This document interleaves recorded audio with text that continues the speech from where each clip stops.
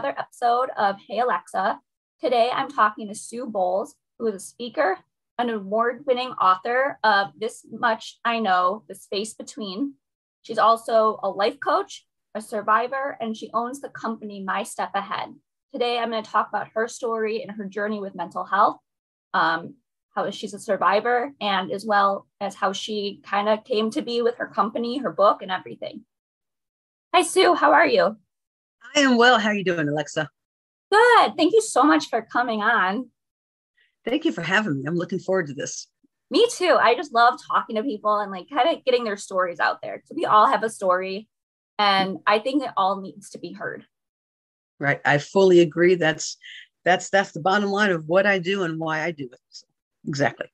So, kind of to start, maybe go start from the beginning, kind of your journey from the beginning and we can lead up in how you became the author, the speaker, and the person you are today. Sure. And I appreciate the opportunity to share. Um, I do want to give a quick trigger warning for your listeners. What I'm about to share, ha- excuse me, I got a little cough thing going on these days. uh, what I'm about to share has to do with sexual assault, has to do with eating disorders and depression and suicide. So if any of those issues are can be triggers for you, please have a self-care plan in place if you need to turn off the show, come back to it later. We fully understand and support that as well. so, having said that, kind of cough drop, sorry. Um, when I was seven years old in first grade, a classmate enticed me into the woods after school one day and held me against my will for 45 minutes. And Bobby raped me, and not just once, twice. And I didn't realize how captive that was going to make me it ended up becoming a 15 year secret. I didn't tell anyone until my senior year of college, and wow. by maybe a month or two before I graduated college. So there was a lot in between there. Trauma literally rewires your brain. Yep. So here I am at seven years old, and you know they call it the age of reason when you're really just starting. Your brain is really starting to develop and work, and my brain didn't have a chance. It got rewired from the start. Yeah. So immediately I ended up living in protective fight or flight mode. Whatever I needed to do to survive an, an, an, incident and a situation, life. So when everything happened in the woods, you know, I didn't know what had happened. This is back in the early 70s. Rape was not on the radar. It was totally safe. Kids walked to school all the time, not an issue. The entire neighborhood walked to school. We lived three quarters of a mile from the school. It was no big deal. So no one knew to ask. And I didn't know to say anything. And the only and it took me a while to understand that the only person who did anything wrong that day was Bobby. Yeah. He, and, and, but it took a long time to get to that point. So here I am at seven, already having things stacked up against me. And like I said, my emotions were frozen in time. So as you get to the preteen and the teen years, obviously a very emotional time. Yeah. I was already not knowing how to deal with emotions, not knowing how to communicate, not knowing how to let someone know if I was hurting and what I needed, what I needed to deal with that. So anytime you add all that on there, I was not doing well. I ended up, um, my brain started just interpreting things really wrong. Um, I felt like nobody cared.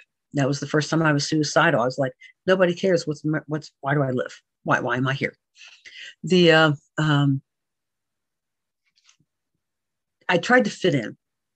I, I was very involved in a lot of activities in high school and college: drama, basketball, theater. You know, theater and drama, same thing. Choir, yeah. marching band, working a job. So I had a lot of stuff that I was doing because I've seen as I go back and look at it now and, and see myself in the mirror, I understand that that's where I felt my value was being seen because I didn't feel seen before. Mm-hmm. Not anybody else's fault, but because I didn't know how to say I need some attention. So right. it all came out. It all came out in some negative ways. You know how that when people start acting out. By the time I get to college, the overactivity went off the deep end. My senior year of college, first of all, I'm taking overload of classes all the time. You're then just I'm, trying to I'm, keep busy. It's like you're trying to not have that time to think. Exactly. And I'll get to that in just a minute. I I was taking an overload of classes. I was section editor of the school paper. I was a radio DJ. I was in a sorority. I was with a system of fraternity. It gets better. My senior year of college, I did, I was homecoming chair. I did the winter formal and coordinated an 18 hour super dance for muscular dystrophy all my senior year of college while wow. taking an overload and doing everything else. I am not a poster child of a healthy college student. I'm a poster child of how not to do it. as I learned more and more, and a lot came out as I started writing my book, you learn a lot about yourself when you're writing about yourself. Yeah. And what you said, what you just said about trying to stay busy is nails on the head. My eating disorder developed in college. Okay. Because again, the longer you're in the freezer, the thicker the ice gets. So if my emotions were frozen in time at age seven, you add over a decade of ice. Think of something shoved into the corner of your freezer and how frost, how much frostbite is on that when you finally clean it out. Yeah. That that was my emotions. I was frozen in time and I was shoved in the back of the freezer and it just kept getting thicker. So by the time I get to college, and I don't remember what year it was, probably junior, junior senior year. Um, my I started getting uncomfortable in the dining hall. My brain, while I I had painted the picture through all that activity, I had painted the picture that Sue had it all together. Sue was golden, didn't have a problem. Sue was the strong one. You yeah. know, you can come to Sue with whatever you got because Sue can, she can handle it and still do all this and get good grades and the whole deal. so, you know, I had all that going on. So by the time it really starts kicking in, my I may have enjoyed another serving of food. Being hungry is a normal need of your body. It's how we are designed. Right. And my brain warped it out to be if I go up there for more food, everyone in quotes is going to know that Sue has a need. And Sue can't be found out. So instead, I dumped my tray, I got out of Dodge, and I snacked in my room later. That's where it started because I learned to snack to curb my hunger. Where it came up, came come back to your statement, what I've since learned was that if I stayed busy, I didn't have to think. And if mm-hmm. I didn't have to think, I didn't have to feel. And if I didn't have to feel, I didn't have to deal with my stuff. And I was right. fully content not dealing with my stuff. But the body keeps the score and it's going to come out in some way. So for me, it came out through my eating disorder. now, eating disorders are an addiction. Eating disorders have, they are a, a wide range of eating disorders. There's no look to an eating disorder. You may, there are stereotypes, but they are not accurate. They are just stereotypes. Mm-hmm. My, my eating disorder is called OSFED, stands for Other Specified Feeding and Eating Disorder. And what that means is that I don't meet all the diagnostic criterion for any other eating disorder. Yet I have disordered eating. I am being unhealthy towards my body. Yeah. So, had all that going on. Get out of college, go to grad school. Life goes on. And went through a long time where I was okay. My eating was actually okay. I was out of counseling. I've been out of counseling all this time. I got out of counseling. I was doing fine. And 2005, I left, lost a very dear friend to breast cancer. 2008, I'm grieving her like it was yesterday. Mm-hmm. And my red flags and my eating disorder started coming up again. So I'm a Christian, got a hold of my pastor, and he helped connect me with a counselor who specializes in eating disorders. And I've actually been with her going on 14 years now. And um, I wouldn't trade a minute of it for the world. Wow. But yeah, but, but even then, you know, when I first met her, mind you, up to this point in time, I had not dealt with the rape. Nobody knew. My right. family didn't know. So this is now 2008. It so they didn't know in 2008. No, a, a, a, couple family members. Nothing. I let my mom know, and um, I think I let my dad know shortly thereafter. but no, a lot of even my siblings didn't know. So okay. I, when I when I keep a secret, I keep a secret. Wow. So, excuse me. So anyway, so I'm meeting with her and it comes out in the second session. She had she uh, gave me homework and she had me write out a life timeline, and it was like the second thing on there. And she looked at me and said, "Sue, this is huge. Did you ever work it through with anyone?" And I looked at her and said, "I wouldn't know what it would look like to say I worked it through. So I guess that's your answer." But then it was another six years before we could come back to that because I had all of this stuff going on and had not dealt with things. As she and I have since talked, we had to get me stronger in the present before we could go back and deal with the past. Okay. Because I had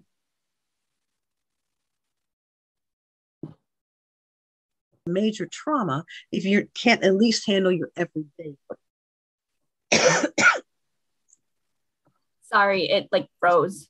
Oh, okay. No You're problem. good. Okay, so so you you can't go back in time to deal with things if you can't handle your present. So where things turned for me was in 2014, just seven and a half years ago. And what happened was there was a movie that came out called A Ragamuffin. It's based on the life of the late Christian musician Rich Mullins.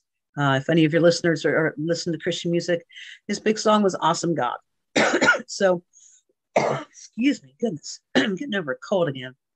So anyway, um, they did a movie about his life, and it was a really hard watch. I did a lot of, uh, you know, I just got something in my eye, mom, you know, kind of thing, because because I still had the masks on. I didn't want to be found out, and I couldn't let on that this was speaking to me, because then I didn't want to deal with the follow up questions. So I was still had the masks on. I still was playing yeah. the game. I was lying to everybody else, and worst of all, I was lying to myself. So watched the movie, watched it a number of times, got something different out of each, each time. And it wasn't until that summer that the producer and the family and friends of Rich were talking about doing a retreat to continue the, talking about the themes in the movie, one of which was masks and authentic living. Took a little wow. bit, yeah, took a little bit till I signed on and I finally signed on. And what caused me to do that was my brother. My brother had, had been in a drunk driving accident in, two, in 2012. 2013, he was sentenced to 18 months in prison. So he was already sober a year going in. He said, I if I hadn't been drinking, it wouldn't have happened. I take responsibility for it. Excuse me. So he got home in August of 2014. And people are like in town, I haven't seen you for a while. Where have you been? And he looks at him and says, in prison.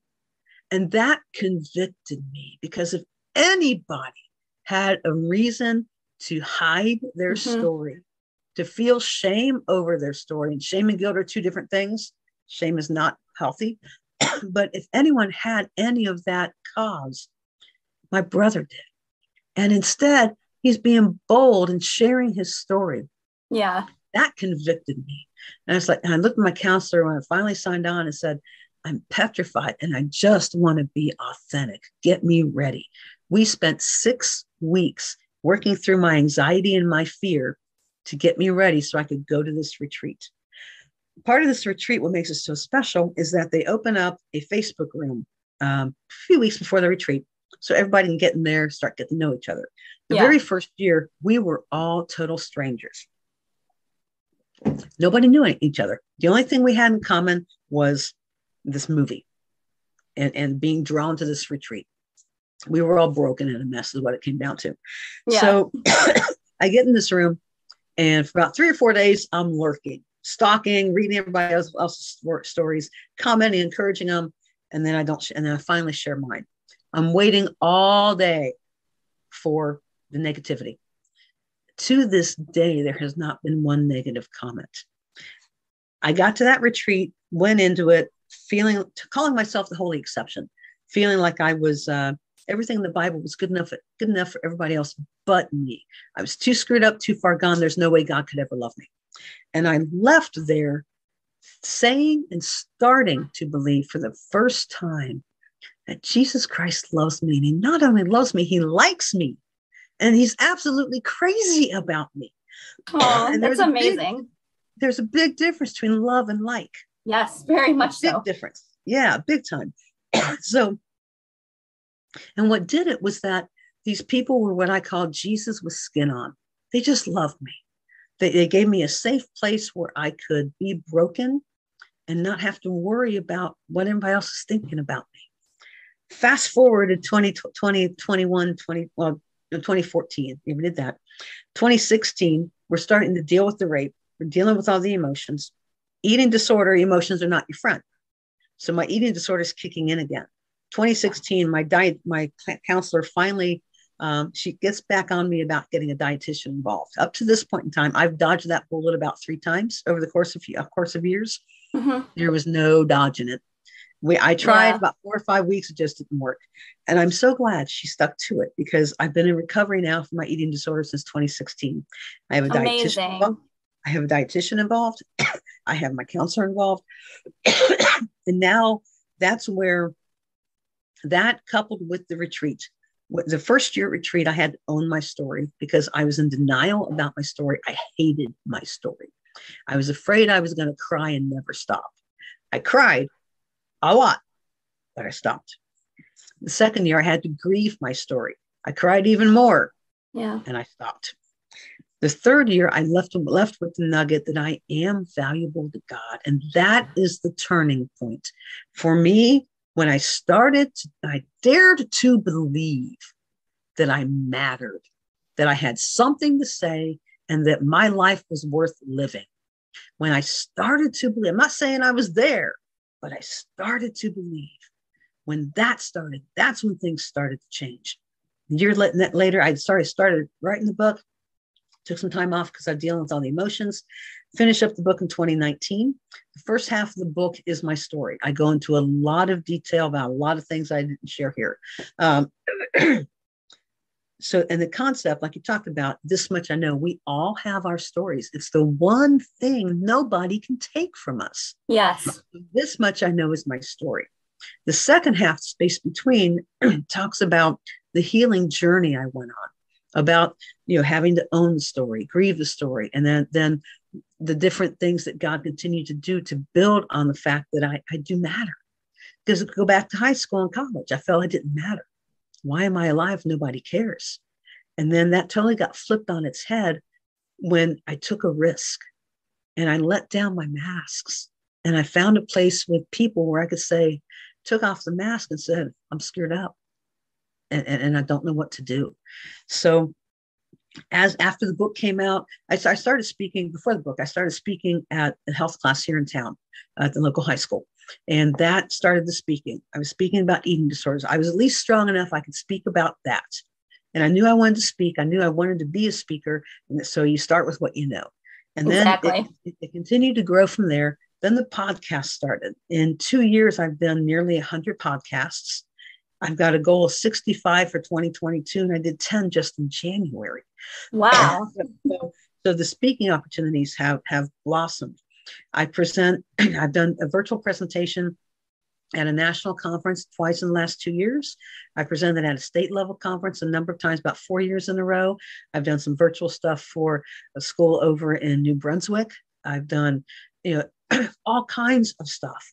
But what I love most is being on the stage and speaking to people. I'm a life coach. They go hand in hand because what I get to do is, is I, I get to journey with people in their specific journey. Uh, so where, when they when they have an area of their life where they want something better for themselves. And that's what I get to come alongside them with and to help them as we dig into that. What is it? What is what's going on? What don't you like? What do you want to see changed? And then we start working working to see how they want to make that change. And the most rewarding part is when they come back the next week, they took that action step they that they decided they wanted to do, and their confidence has just grown. There's a smile, there's a twinkle in the eye. That i did it. I was petrified and I did it. Yeah. And we talk about that, we celebrate that, and then we move on. And that's the whole concept between my step ahead. You only have to be a step ahead to help the person behind you. So I'm I'm still reaching out for help to my counselor but I can still reach back to somebody else who's go, starting the journey or, or still going through their journey that I've at least gone through. I can reach back and help while I reach out for help. And together we have a human chain of support. So that's yeah. the, that's that's the, the whole concept. That's what happened with the book. That's what the business is about. That's what my life coaching, my speaking is about. And and it's just I, it's it's thrilling for me It's absolutely thrilling. I'm so glad. And your story is truly inspiring. And like, look how far you've come. Like, just a few years ago, like, you had these masks. Like, oh, everything yeah. was fine. Everything, like, nothing was wrong. And like, now look what you're doing with your story.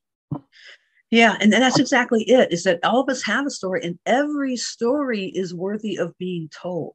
We have to get through the crap we tell ourselves. Yes, we we talk. We are listening to ourselves. We're just not real kind to what we say about ourselves. And and yeah. all of us, all of us need a safe place where we can take off that mask and say, you know what? Right now, I'm pretty screwed up.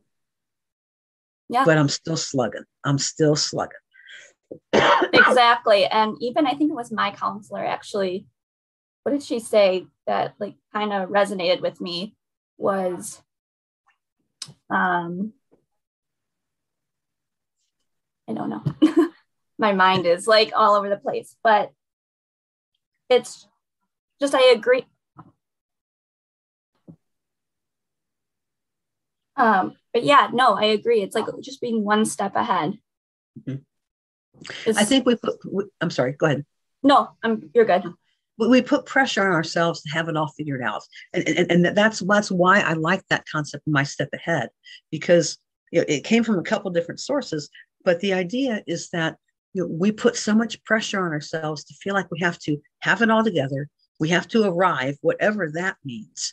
And we, ha- we can't be real, that we have to be Superman or Superwoman I hate to tell you, but those are fictional characters. They do not hmm. exist except in our imagination. It does, yeah. it, and and I, I think people are are screaming for authenticity. I think they're afraid of it, and I think some people just need a little extra hand to help them along, so I can help them take that next step ahead. I agree. I think, like you said, it is so important, and I like my saying is that you're forever strong. Sometimes mm. we don't feel that strength, but it's deep down and we just have to dig a little bit more. Mm-hmm. And I call our, I call people that have gone through everyone that's gone through something, which everyone has, warriors. I don't like the term victim. I don't think it's a good a good thing to say. So I like the term warrior. You know, with that, I have partnered. I'm in Ohio on the east side of Columbus, and there is an organization called Healing Our Warriors, and it's an it's a local organization 501c3 and but they are available anybody to anybody. So we've had people come in from florida and new york and i think the west coast and just everywhere. It's a one day event to help people who are struggling with suicidal ideation depression stress ptsd anything you know anything like that extreme anxiety. And, and, and it's just a one day program. It's free it's absolutely free to give them tools to better understand where that came from and how they can start fighting. And it's called Healing Our Warriors because we all have a warrior inside. And then I come along behind and offer a four week coaching program for any of the participants who, who, who, would like, like to be involved in that. So they can take, take things they learned that day and start putting feet to them. And then, you know, if people want to continue on from there, that's fine. I'm happy to do that. but it's it's very rewarding to watch people start to know how to communicate and, and set their boundaries and set their goals and stick to them. And then start realizing I can be free. I don't have to live the way I've lived the last 15 years. Yeah. Well, thank you so much for coming and sharing your story. I think it's an important one. And I think my listeners can really learn a lot from you. I Thanks. would like to, we're going to switch gears a little and we're going to yep. play a, a game. Um, yes. I like to ask all my guests these same questions, and it's just fun to kind of hear all the different answers. So, the first one is What's your favorite drink? Uh, my favorite drink is Dr. Pepper. Oh, Dr. Pepper is really good. And I'm uh, trying to not drink a lot of it. I know. I know. It's good though. Um, what's your favorite show or movie? Uh, my favorite movie is Dead Poet Society. I love Robin Williams. He was a tremendous actor. And, and even just the whole nature behind that movie of believing, allowing people the creativity to come out of their shell, discover who they are, is just it fits right in line with everything I'm doing. Yes, very true. Um, what advice do you have to your younger self? Oh wow. Um, be bold, be bold, and to do whatever you need to do for you. Find the safe people and let them help you. I love that. Um, describe yourself in five words. Wow. Enthusiastic, spirited, dedicated, compassionate, and wow, um, helpful. And what does success mean for you? That's great because I have a presentation I do about redefining success. and I don't want it to be about what I do. I want it to be about the lives that I influence. Yeah. So success for me is simply doing what I do one life at a time and watching someone else get where they want to go when they didn't think they could get there. That's success to me. That's amazing. And I think that is important because a lot of people will think like success is like something, like a mm-hmm. thing where it doesn't have to be. Mm-mm. It's not about things, it's about people. Yes, and feelings I, and uh, yeah. I, have been overseas, and when I first came back, I had a real bad culture shock. And as I've gone overseas more to Latin America and South America, the way I describe it is that they are more joyful because they have people and not things and we are more frustrated and depressed because we have things and not people. Not people. Yeah, very true. Um, so we're about to wrap up, but where can my audience find you? Sure, a couple different places. Your best bet is go to my website, suebowles.com. Uh, she'll have it in the show notes. It's B O W L E S. Um, there you'll find stuff about my coaching, speaking. If there's something I can do to help you, I offer a 15 minute free consultation go to that website, fill out the form. I'll be in touch with you within 24 hours. We can set something up. Would love to talk with you, see how I can help you get where you want to go, because that's what I do. Um, I'm also on Instagram, Facebook. Instagram is my step ahead.